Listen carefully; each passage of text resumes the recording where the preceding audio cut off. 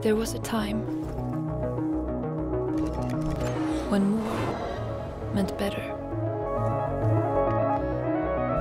When possessions possessed us. When everything meant everything. Times change.